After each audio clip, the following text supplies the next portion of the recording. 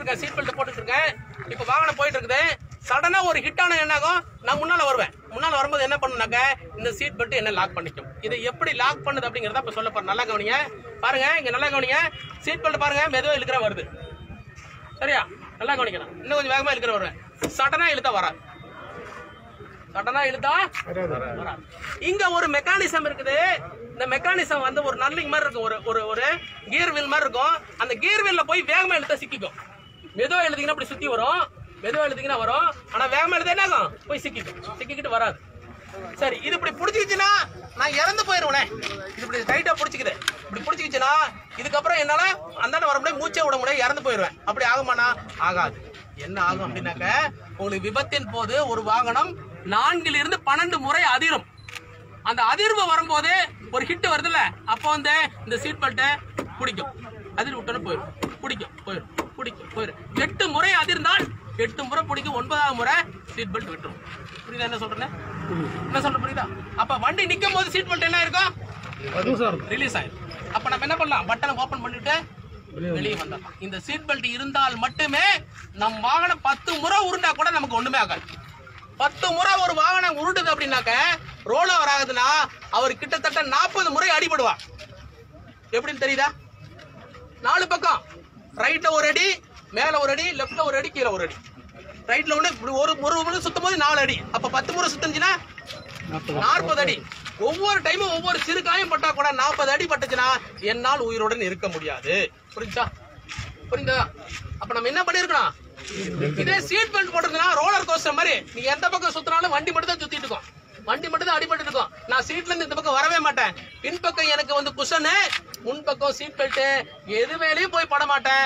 விபத்து முடிஞ்சதுக்கு அப்புறம் வாகனம் நின்னதுக்கு அப்புறம் சீட் பெல்ட் கட்டிட்டு வெளியே வரும் புரிஞ்சுச்சா புரிஞ்சுதா? சீட் பெல்ட்டோட கான்செப்ட் தெரிஞ்சிருச்சா? இத்தனை நாள் நமக்கு தெரியாது.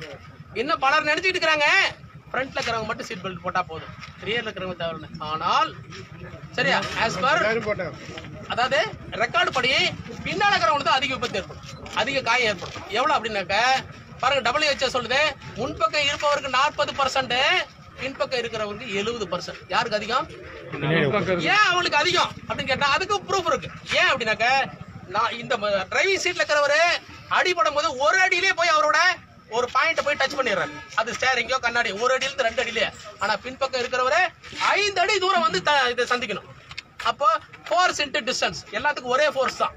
ஆனா டிஸ்டன்ஸ் மாறுபடுது. அப்போ அவரோட அடி அடிபடும் தன்மையும் அதிகமாகும். ஆகவே பின்னே இருப்பவர் தான் முதல்ல இருப்பார். புரிஞ்சிச்சா நம்மள நினைச்சிட்டு இருக்கிறோம் டிரைவர் மட்டும் சீட் பெல்ட் போட்டா போதும். கிடையவே கிடையாது. பின்னால இருக்கிறவங்க தான் கண்டிப்பா போட்டுக்கணும் ஏன்னா அவரு தான் ரொம்ப தூரத்தில் தூக்கி பேசப்படுவார் அவருக்கு தான் போர்ஸ் அதிகம். அதனாலதான் நீங்க எந்த ஒரு ஒரு மரத்துல போய் ஹிட் பண்ணிருக்கிற ஆக்சிடென்ட்லாம் பாத்தீங்கன்னா பின்னால இருக்கிறவங்க இறந்துருப்பாங்க முன்னால இருக்கிறவங்க அடிபட்டு இருப்பார் புரிஞ்சிச்சா என்ன புரிஞ்சிச்சா அப்ப கார்ல நான்கு அல்லது மேற்பட்ட சக்கர வாகனங்களில் செல்லும் போது நம்ம என்ன பண்ணிருக்கணும்? கண்டிப்பாக இருக்கை பட்டை என்று சொல்லப்படும் சீட் பெல்ட்டை கண்டிப்பா அணிந்திருக்க வேண்டும். அப்படி அணிந்திருந்தால் மட்டும் விபத்தின் போது நாம் உயிருடன் இருக்க முடியும். சொல்லுவாங்க சீட் பெல்ட் போட்டிருந்தா தான் ஏர் பேக் வேலை செய்யும் சொல்லுவாங்க.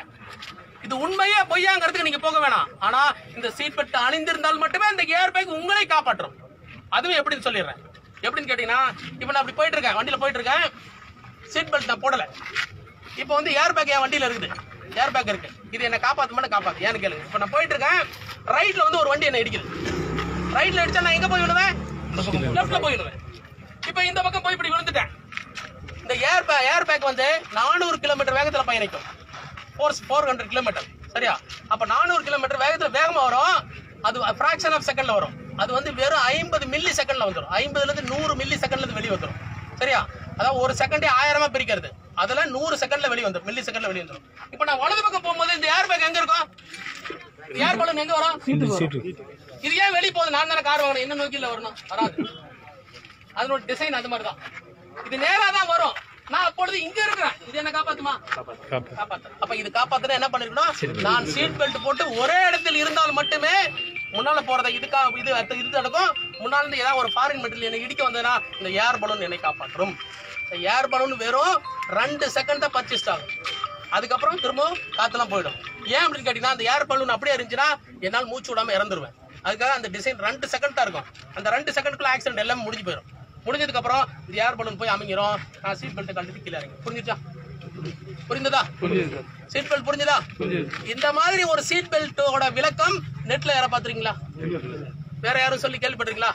சினிமால எதுவும் பாத்துருக்கீங்களா அதுக்கு தான் சொன்னேன் இந்த விஷயத்தை நீங்க கேட்டுட்டு போங்க. கண்டிப்பா இது உங்களுக்கு காப்பாற்றும். எனக்கு ஒரு விஷயம் செய்யணும். இந்த இந்த சீட் பெல்ட்டும் இந்த ஹெல்மெட்டும் இன்னைக்கு சொன்ன விஷயத்த தயவு செய்து எனக்காக ஒவ்வொருவரும் குறைந்தபட்சம் ஒரு அஞ்சு பேருக்கு போய் சொல்லுங்க. அது உங்க ஃபேமிலி மெம்பரா இருந்தாலும் சரி நண்பர்களா இருந்தாலும் சரி சொல்லி எல்லாத்தையும் மாத்துங்க. தயவு செய்து மாத்துங்க தலைக்கவசம் எவ்வளவு அவசியம் சொல்லுங்க. அதே போல இந்த சீட் பெல்ட் எவ்வளவு அவசியம் சொல்லுங்க. இப்ப டவுட் இருக்கிற ஒருத்தர் ஆமா நீ இந்த சீட் பெல்ட் வந்து இழுத்து நான் சொல்லு சரியானு பாருங்க. நான் ஏதாவது சும்மா பொய் சொல்லிட போறேன். இல்லைங்க? கொஞ்சம் வேகமா இல்லைங்க இப்படி தான் இப்படிதான் லாக் ஆகிடும் இல்ல பிடிங்க. இப்போ லாக் ஆயிடுச்சு. இதுக்கப்புறம் லைட் அப்படி விட்டா போயிடும் திரும்ப பிடிக்கும் எத்தனை அதிர் வருது அத்தனை முறை லாக் ஆகும். நம்மள இந்த சீட்டை விட்டு வெளியே வரக்கூடாது. புரியுதா? நாங்க வேற யாராவது ஒருத்தர் செக் பண்ணுங்க. பார்க்கணும் செக் பண்ணு. இருக்கு இல்லை? திரும்ப விட்டா போயிடும். சரி அப்படி வேற டவுட் இருக்குதா? வேற டவுட் புரிஞ்சிருச்சா? இப்ப சீட் கார்ல போகும்போது சீட் பெல்ட் போட்டுக்கலாமா? சரியா? சரி யாராவது உங்களோட கருத்துக்களை சொல்வது என்னன்னு சொல்லலாம். அதாவது இப்ப இப்ப எடுத்த